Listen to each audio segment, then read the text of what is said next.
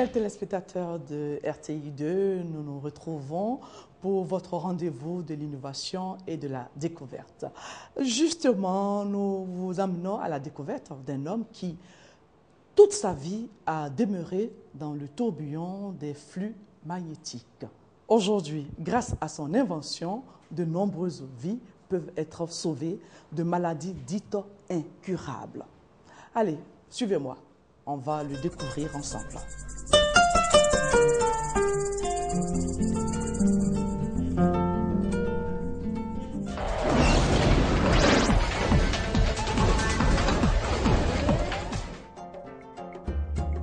Les grandes découvertes et les inventions ont permis l'amélioration des conditions de vie des hommes. Ainsi, le domaine de la santé s'est vu énormément influencé par les avancées de la physique et de la technologie. Chaque jour, de nombreuses affections trouvent remède par le biais des nouvelles technologies. Notre inventeur du jour, M. Pinard Jean-Paul, est magnétologue. Il a effectué plusieurs recherches sur différentes affections traitées par flux répétitifs d'impulsions magnétiques. Ses études et recherches sur la magnétothérapie et ses applications lui ont permis de mettre au point un traitement pour la drépanocytose, une maladie qui jusque-là était considérée comme incurable. L'obtention d'un brevet d'invention a couronné ses recherches, preuve que cette technique inventée par M. Pinard Jean-Paul a du succès. Comment l'énergie électrique transformée en flux magnétique peut-il guérir la drépanocytose? C'est à cette question que va tenter de répondre notre docteur ingénieur magnétothérapeute.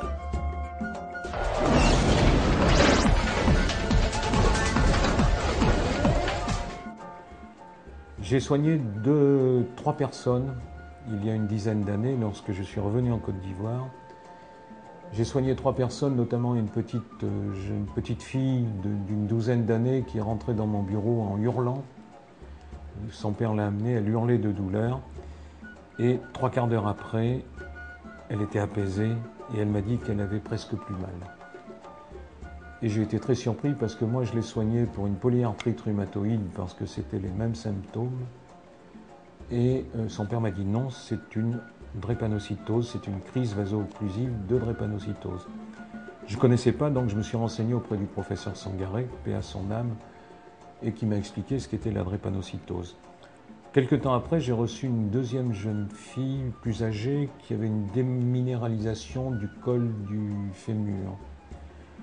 J'ai stoppé sa, sa déminéralisation, j'ai réussi à recalcifier son col du fémur. Euh, elle était euh, drépanocytaire SS et euh, en trois mois, je lui ai fait poser ses béquilles. Et puis on a compensé par une, euh, une talonnette, le, raccourcissement apparent de sa jambe par une, talonnette. Et puis au bout de six mois, je ne l'ai plus revu et je n'ai plus eu de nouvelles. Un troisième cas était une jeune femme un peu plus âgée qui était, elle, drépanocytaire SC et qui avait une déminéralisation des deux têtes radiales et cubitales de chaque côté, enfin des deux bras. On a réussi à recalcifier ça en moins de trois mois et j'étais toujours très très surpris par la rapidité des réactions. Je me suis donc penché sur la drépanocytose et actuellement j'ai déposé deux brevets sur le traitement de la drépanocytose et c'est le résultat de dix ans de recherche. Avec les flux répétitifs d'impulsion magnétique, la première des choses que l'on fait, c'est que l'on fait sauter la crise vaso-occlusive et ça, c'est systématique et ça dure moins de trois quarts d'heure. Tout simplement parce qu'on augmente la vasodilatation des, vaisseaux sanguins euh, par l'augmentation de la production de monoxyde d'azote, hein, qui est un gaz qui permet la vasodilatation. La deuxième action, c'est qu'au niveau des globules rouges qui sont falciformes et qui créent cette, crise vaso-occlusive, on va supprimer la cause qui est à l'intérieur des globules rouges de cette, de, cette, de cette, falciformation. On va supprimer donc les, les chapelets d'acide glutamique, de cristaux d'acide glutamique polymérisés, euh, tout simplement en modifiant la, la polarité des cristaux d'acide glutamique et donc ils vont se repousser au lieu de s'agglomérer et les globules vont reprendre leur forme ronde et leur capacité de déformation euh, pour passer dans les capillaires, dans les, dans micro-vaisseaux. Ça leur permet, entre autres, d'éviter d'être euh, atteints par les macrophages parce qu'ils ont donc une vitesse de déplacement qui est redevenue normale. On va donc avoir une augmentation du nombre de globules rouges. Et c'est ce qui va permettre, dans un premier temps, l'augmentation du taux d'hémoglobine. Le taux d'hémoglobine, c'est ce qui permet de fixer l'oxygène. Dans la drépanocytose, la nature a jugé bon de mettre un système en place pour lutter contre le plasmodium, qui est la diminution de l'oxygène disponible dans le sang. Et on en a donc dans la drépanocytose et dans les thalassémies, c'est pareil, mais c'est une, une, maladie cousine. Hein. Le, le, fait que l'on augmente le taux d'hémoglobine va permettre aux enfants ou, aux drépanocytaires ou aux thalassémiques qui sont perpétuellement anémiés de retrouver un équilibre au niveau du taux d'hémoglobine et donc de l'oxygénation des tissus et de retrouver une vie normale. Les traitements actuels sont destinés à maintenir les drépanocytaires et les thalassémiques en vie. Je m'explique. On ne sait pas par la médecine conventionnelle actuellement euh, guérir la drépanocytose.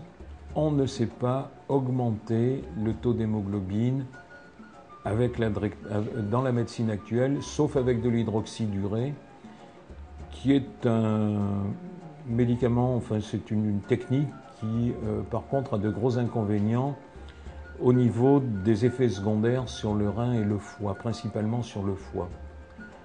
Les flux magnétiques que j'utilise, eux, au contraire, vont régénérer des cellules rénales, régénérer des cellules hépatiques et donc permettre un meilleur fonctionnement.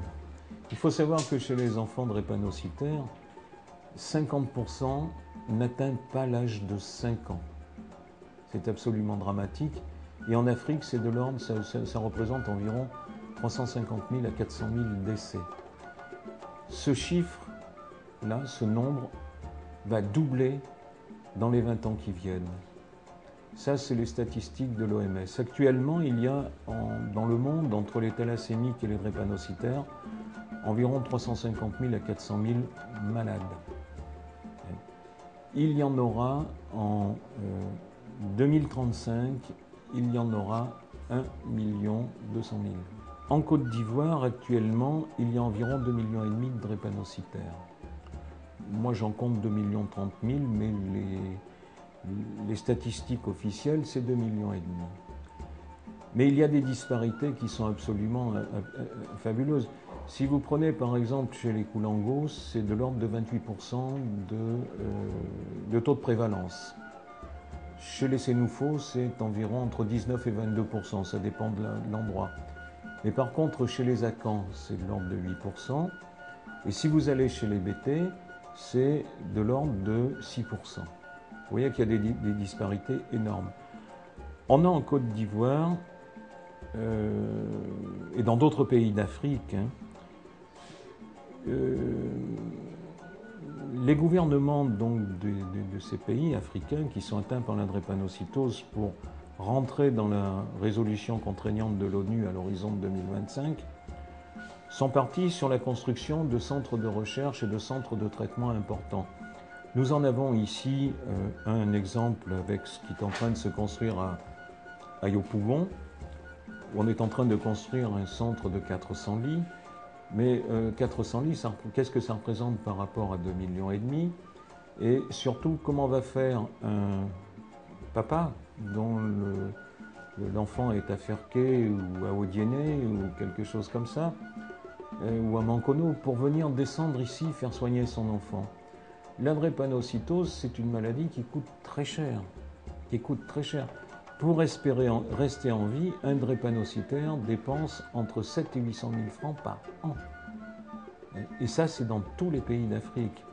Moi, j'ai la chance d'avoir découvert une euh, technique de soins qui revient environ, selon ma formule à moi, qui peut se modifier, ma formule de commercialisation qui peut revenir à 60 000 francs annuellement, sous forme donc de redevance annuelle de traitement. Voyez la différence de coût et la différence d'efficacité. Monsieur Pinard Jean-Paul, que nous recevons aujourd'hui, a touché un peu à tout avant de se consacrer à la magnétothérapie. Titulaire d'une licence de mathématiques et d'une maîtrise de gestion, il a aussi un diplôme d'enseignement comptable supérieur. Notre inventeur du jour préfère plutôt se consacrer à la magnétothérapie et à ses applications, surtout quand elles lui permettent de donner un sourire à un enfant dont il apaise les souffrances. Il faut savoir que euh, ce type de traitement va permettre dans 20 ans de détecter donc de ce type de, technique tout du moins va permettre de détecter des, des affections à partir d'un bracelet, ça se fait déjà, d'un bracelet que l'on porte, qui vont être transmises, c'est des informations donc euh, vont être transmises à des centres, euh, qui vont être en fait des hôpitaux virtuels, qui vont renvoyer des traitements au bracelet, et ces traitements, on va aller les acheter, ce vont être des traitements euh, sous forme de clés informatiques ou autres. On va les acheter chez le pharmacien qui deviendra non plus un vendeur de, médicaments, mais un vendeur d'informations euh, euh, informatiques et d'informations de physique. Voilà quel est l'avenir de la médecine. Et j'aimerais bien que dans les pays d'Afrique, parce qu'on a quand même des chercheurs de grand niveau ici, que les différents pays aillent dans ces techniques-là, parce que la médecine en Afrique risque de prendre très rapidement une vingtaine d'années de retard, elle en a déjà une bonne dizaine à ce sujet-là, et euh, on continuera à piller l'Afrique au niveau, au niveau financier en l'inondant avec cette technique-là plutôt que de les, faire, de, les réaliser sur place. Je vais vous inviter maintenant à assister à deux traitements. Je pense qu'on va mettre sous traitement les deux petites filles. Hein. Vous pourrez, je pense, interroger les mamans hein, qui vont confirmer ce que, ce que je vous dis. Et puis j'espère que j'aurai beaucoup de drépanocytaires à soigner.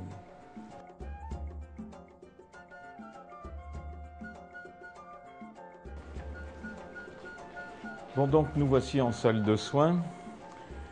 Voilà une jeune demoiselle drépanocytaire hein, qui est SFA2, si mes souvenirs sont bons, et que euh, j'ai commencé à traiter avec un taux d'hémoglobine qui était de l'ordre de 6, 6,5. Elle est montée jusqu'à 11, et puis là, elle nous a fait une infection donc, euh, intestinale, elle est redescendue à 10. Mais elle ne dormait pas, elle ne mangeait pas, elle était toujours en train de grogner, elle était très mal. Maintenant, mis à part avec moi, elle est fâchée, je ne sais pas pourquoi, mais autrement, elle a retrouvé toute sa joie de vivre. Donc on va la traiter ici. Nina, tu vas l'installer. Nina est notre, chef ici dans la salle de soins. Cet appareil donc permet de régler la puissance émise et on a cette jeune demoiselle sous le coussin un applicateur de cette forme-là de façon à ce qu'on prenne la totalité de ces gros os.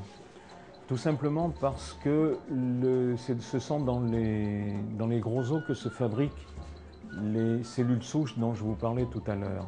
Hein. Donc pour elle, on prend les tibias, tout ça, les côtes, etc., les hanches. Et puis il y en a pour un quart d'heure parce qu'elle est petite. Hein. On va limiter dans le temps.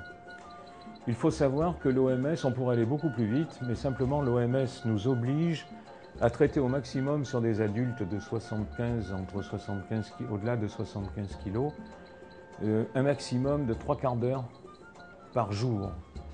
Autrement, on pourrait aller beaucoup plus vite avec les, les, drépanocytaires, on pourrait aller beaucoup plus vite. Malheureusement, nous, sommes, nous avons une contrainte, nous avons des contraintes de, temps d'irradiation et de puissance d'irradiation qui nous freinent. Là, c'est 48 heures. Alors là, c'est toutes les 48 heures. On traite toutes les 48 heures. On pourrait traiter, par exemple, une crise vaso-occlusive, on va la traiter euh, sur 48 heures. C'est-à-dire qu'on va faire trois séances sur 48 heures. Après, le traitement de fond, lui, c'est une séance tous les deux jours.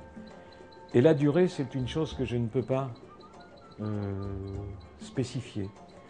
Ça dépend de plusieurs facteurs. Un, la gravité déjà de, l'atteinte, mais également la réactivité de chaque patient qui est différente. Alors en Europe, euh, il y a eu des traitements qui ont été réalisés sur des bébés euh, de différents âges, hein, mais en général à partir de, de 3 mois, à partir du moment où euh, un enfant a acquis ses défenses immunitaires définitives. Ici, euh, j'ai fait des demandes, mais je n'ai pas d'agrément, donc je ne peux pas m'amuser à faire ce genre de choses. Euh, tout simplement, j'attends. J'attends. Bien que ça soit efficace, je suis persuadé que si on traite les, petits, les petits bébés euh, de plus de 3 mois, les petits bébés de drépanocytaires de plus de 3 mois, on aura des résultats qui vont être extraordinaires. Mais il me faut l'autorisation, je ne peux pas pour l'instant. J'ai le matériel pour le faire, je sais le faire, mais sans autorisation, je ne peux pas. On a fini avec la petite, donc ici. On va prendre donc une autre, une autre petite demoiselle. Lorsqu'elle est arrivée, son taux d'hémoglobine était de 4, 4,2 si mes souvenirs sont bons.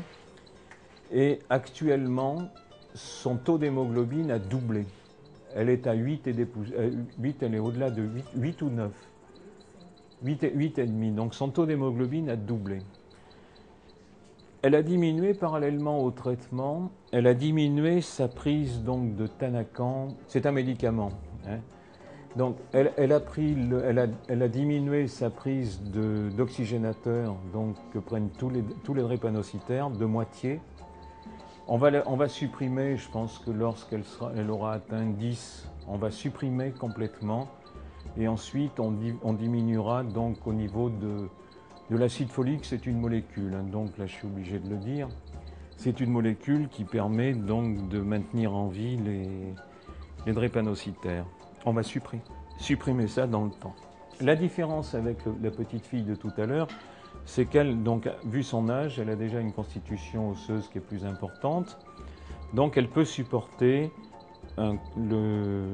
l'applicateur directement. Ici, on va compléter par une réponse donc systémique. On a un applicateur ici qui prend tous les gros os de la même, façon, hein, tous les os importants. Et ici, on a une réponse systémique de, euh, des points réflexes plantaires qui va permettre donc de, réactivité tout un, de réactiver tout un, tout un tas de fonctions.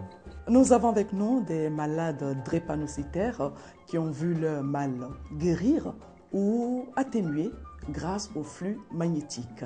Ils vont nous faire leur témoignage et puis nous écouterons aussi le docteur Djeriké qui travaille ici.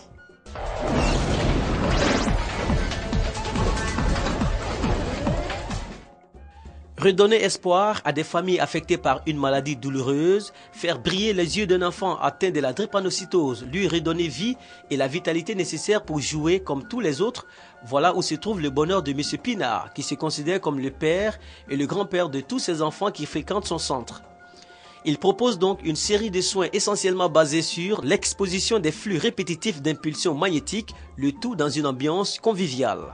Des patients aux praticiens, en passant par d'éminentes personnalités du monde de la médecine, tous attestent que l'invention de M. Pinard apporte un mieux-être, plus encore, guérit la drépanocytose. Ma fille est drépano du type SSFA2. Elle piquait des crises chaque fin du mois, tout ça. Et bon, elle avait, ça, ça a commencé pendant qu'elle avait deux ans. Bon, au début, j'avais peur de faire le test. Mais après, j'ai fait le test quand même. J'ai su qu'elle était dripano l'année passée. Et il y a quelqu'un qui m'a parlé de docteur Pina et je suis venue. Quand je suis venue, ça s'est bien passé, la rencontre, tout ça. Et on est là aujourd'hui, ça fait cinq mois. Je trouve que ma fille va mieux maintenant. Ça va, elle se retrouve, elle joue normalement, elle court, elle mange bien, elle dort bien. Bon, en fait, il n'y a pas de problème. Je suis la mère de la petite drépanocytaire de type AS. Bon, avant d'arriver ici, Franchement, ça n'allait pas chez ma fille. Elle souffrait, elle avait mal, elle dépérissait. On a fait son électrophorèse, on a su qu'elle était drépano de type AS, on m'a indiqué ici. Ça fait six mois maintenant que nous venons ici. Ça va chez elle maintenant. Elle s'amuse bien, elle mange, elle dort bien, elle n'a plus de crise. Depuis six ans, il faut le dire, moi-même j'ai vu des patients euh, qui sont venus, des enfants qui sont venus avec leurs parents désespérés. Parce que cette maladie, on dit, bon là, vous n'avez pas longue vie, donc les parents sont désespérés, ça même plus la question sur vous. Mais quand ils commencent le traitement, les enfants se portent mieux. Et dans l'évaluation du traitement, on a le volet, le volet clinique et biologique. C'est-à-dire cliniquement, le patient, l'enfant ne se plaint plus de douleur.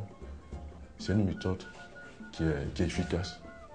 Qui est efficace, il ne fait pas de la publicité. Moi, j'ai les six ans, j'ai vu les résultats, les résultats pour moi. C'est euh, une, méthode qui est efficace et qui est, non invasive, c'est-à-dire qu'on n'a pas besoin d'opérer, de, piquer, hein, qui, est, qui, est, même moins coûteuse que le traitement classique.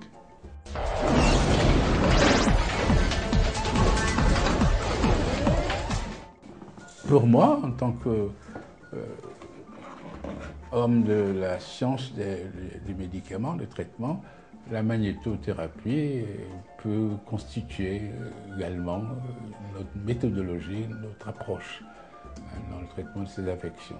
Alors ici à, Camag, avec euh, M. Pinard et son équipe, euh, euh, auquel je n'appartiens pas, mais j'adhère. Et il faut dire que le succès qu'a eu la magnétothérapie dans le traitement de la drépanocytose nous a tous je ne dirais pas étonné, mais quand même euh, satisfait, hein, avec quelques cas euh, d'observation. Euh, d'ailleurs, même une publication a été réalisée à ce sujet avec la collaboration de, partenaires hospitaliers, montrant l'importance de cette, de cette approche dans le traitement de la drépanocytose. Il y a beaucoup d'espoir, il faut le dire, il y a beaucoup d'espoir. Avec cette invention, M. Pinard veut redonner le sourire à toute l'Afrique et pourquoi pas au monde entier, mais à condition que cette invention se développe en Côte d'Ivoire afin de donner du travail aux Ivoiriens. Son message est donc très clair. Sa trouvaille doit être bénéfique prioritairement à son pays d'adoption. Et pour y parvenir, il faut mettre en place un certain nombre de mesures. Ce que je recherche actuellement, et là c'est un appel au peuple, ce sont des financiers ce sont des industriels à qui je peux vendre soit des licences, soit carrément les brevets, de façon à pouvoir utiliser donc cette technique-là et la divulguer au maximum. Moi, j'ai fait des projections de, chiffres d'affaires qui sont ce qu'elles sont, mais euh, si je vous parle de euh, d'un potentiel de 22 000 milliards de francs CFA annuels, c'est la moyenne sur les 25 prochaines années. La moyenne annuelle sur les 25 prochaines années, c'est énorme. C'est énorme. Et j'aimerais bien qu'il y ait des gens qui se penchent dessus. La technique est au point. Il me reste simplement une chose à maîtriser qui est donc le, le paiement, le prépaiement à distance ou le paiement à distance ou faire la transmission d'informations à distance par les téléphonies. Mais ça, euh, c'est quelque chose qui est maintenant bien établi, que l'on sait faire. Il y a juste à la, à la connecter donc au, matériel, c'est tout. Notre ingénieur, magnétologue, inventeur du flux répétitif capable de soigner la drépanocytose est formel. Selon lui, et je cite, les flux répétitifs d'impulsions magnétiques tels qu'appliqués par le personnel soignant de la société Camag semblent être une véritable avancée dans le traitement de la drépanocytose. Fin de citation. Ceci est un extrait de la conclusion de la publication faite dans la Revue internationale des sciences médicales de l'Université de Cocody, volume 15 de décembre 2013. Fort de tout cela, nous osons croire que l'invention de M. Pinard vient régler un véritable problème de santé publique partout dans le monde Il est donc important que cette invention connaisse son aboutissement avec la création d'unités de production capables de fabriquer ces appareils qui génèrent les flux magnétiques pour le plus grand bonheur des drépanocytaires et de leurs familles. Que de recherches, que de bons résultats pour le bien-être de tous. Nous espérons que vous avez pris bonne note. Si vous souffrez de l'une des maladies dont on vient de parler, sachez qu'une solution existe. Nos inventeurs sont à votre disposition pour rendre votre vie meilleure. À très bientôt sur RTI2 pour une nouvelle invention.